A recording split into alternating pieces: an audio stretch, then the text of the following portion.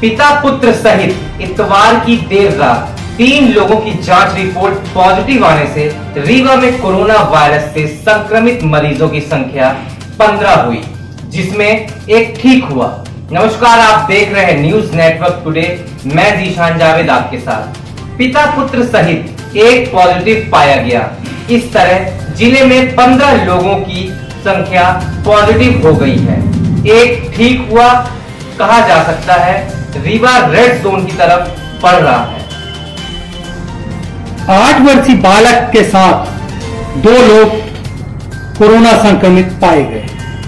दो दिन के बाद तीसरे दिन रीवा के लिए एक बार फिर से बुरी खबर आई। जी हाँ, रविवार की रात जब जाँच रिपोर्ट आई तो तीन लोगों की जाँच पॉजिटिव आई, जिसमें एक आठ वर्ष का बच्चा भी था।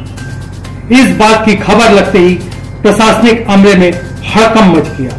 मरीजों को क्वारंटाइन करके डीआर के सेंटर में ले जाया गया। इस तरीके से अब रीवा में मरीजों की संख्या पंद्रह हो गई है। एक मरीज़ ठीक हो चुका है, चौदह मरीज़ अभी भी अपना इलाज करा रहे हैं। कहा जा सकता है, रीवा अब रेड जोन की स्थिति में पहुँच गया है। 20 लोगों के बाद यह संख्या रेड जोन के दायरे में आ जाएगी।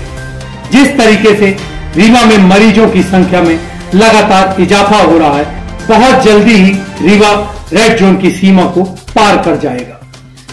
इस समय मेडिकल कॉलेज की वायरोलॉजी लैब मशीन में खराबी है, नहीं तो यह दायरा बहुत पहले ही रीवा पार कर लेगा।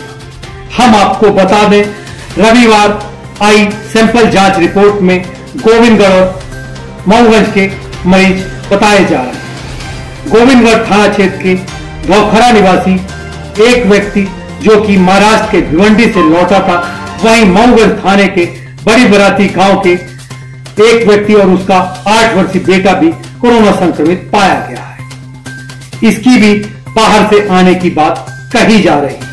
वहीं जाँच रिपोर्ट में संक्रमित मरीज़ की पत्नी और एक बेटा निगेटिव निकला, पिता पुत्र पॉजिटिव।